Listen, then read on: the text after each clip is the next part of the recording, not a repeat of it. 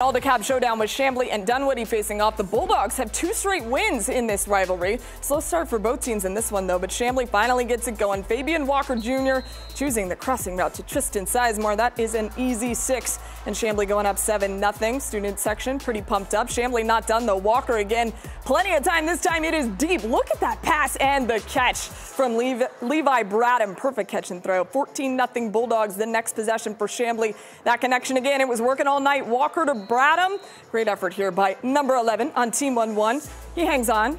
Short touchdown, make it 20 0 Then Dunwoody getting on the board in the second quarter. Porter Ledoyen keeps it. He's in. Wildcats cut it to 23 6, but too much Chamblee tonight. They win 37 21.